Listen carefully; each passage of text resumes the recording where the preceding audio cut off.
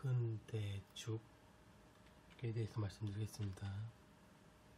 근대줄기에 섬유질을 벗겨낸 뒤 끓는 물에 살짝 데쳐 헹구어 잘게 썰어서 된장이나 간장으로 간하여 국을 끓이다가 쌀을 넣고 쌀이 푹 퍼지도록 씁니다.